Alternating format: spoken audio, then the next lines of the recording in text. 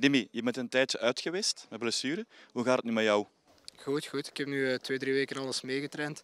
Dus uh, ja, ik voel me terug fit al uh, een weekje durf voor te spelen. Dus we zijn er klaar voor.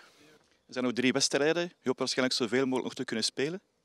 Ja, het is natuurlijk... Uh, ja, we zijn definitief nu uitgeschakeld. Dus we moeten zien wat, dat we, wat dat de coach doet van opstellingen. Maar, maar, ik ben klaar voor drie matchen te spelen. En is het één, is het twee, is het drie, dat zien we dan wel. Maar hoe, meer ik er krijg, hoe plezanter. Het is nu tegen Kortrijk, nadien ook tegen Zulte Waregem. Misschien de twee zwaarste ploegen uit, de, uit onze reeks alleszins. Hoe kijk je daar tegenaan?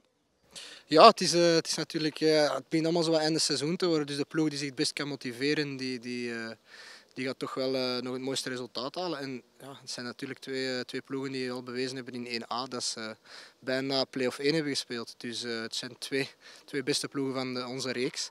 Dus ja, het is alleen maar plezanter om tegen een goede ploeg te spelen natuurlijk. Je bent kapitein. Als je dan niet kan meedoen een aantal weken, hoe kan je toch belangrijk zijn voor de ploeg als kapitein zijnde?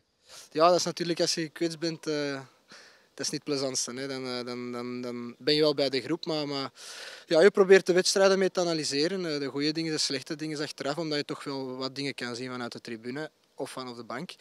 Uh, dus dat heb ik geprobeerd. En als er een paar jonge gasten nog een beetje raad nodig hadden of, of, of iets, iets, minder of juist iets goed deden, uh, daarmee over discussiëren. En zien gewoon dat je zo rap mogelijk terug fit bent. Dus, dus dat was een beetje de taak. ik ga proberen dat terug op, op, op het veld op te nemen als dat kan. Praat je dan vooral met Jente en met Jarmo, dat twee jongens zijn die op jouw positie staan? Ja, nee, absoluut. Ik heb met die twee jongens ook een schitterende band.